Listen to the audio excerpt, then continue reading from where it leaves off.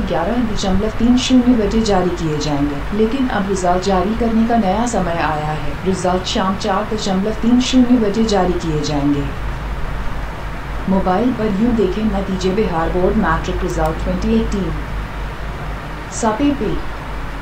सबसे पहले www.biharboardonline.in या बिहार बोर्ड ऑनलाइन या Bihar board online dot Bihar dot gov dot I N पर जाएँ। स्टेप दो।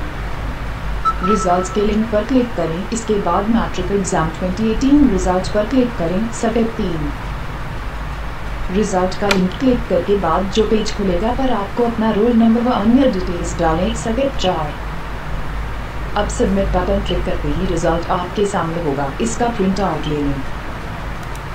इससे पहले बिहार मैट्रिक परीक्षा के रिज़ल्ट 20 जून को जारी किए जाने थे, लेकिन गोपालगंज में गायब हुई उत्तर पुस्तिकाओं की वजह से परीक्षा के नतीजे टाल दिए गए थे।